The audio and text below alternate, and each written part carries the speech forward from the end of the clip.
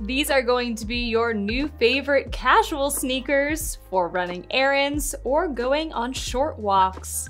We are checking out the Gardenia leopard style of this shoe, which has a textile and synthetic upper that's super stretchy so you can pull these on and off easily. They also have stretchy straps on the upper, which will give you a more locked down fit. Inside, they have a textile lining and a removable footbed. It's their Q contour footbed that has an anatomically correct shape with a deep heel cup and a raised arch to give you tons of support.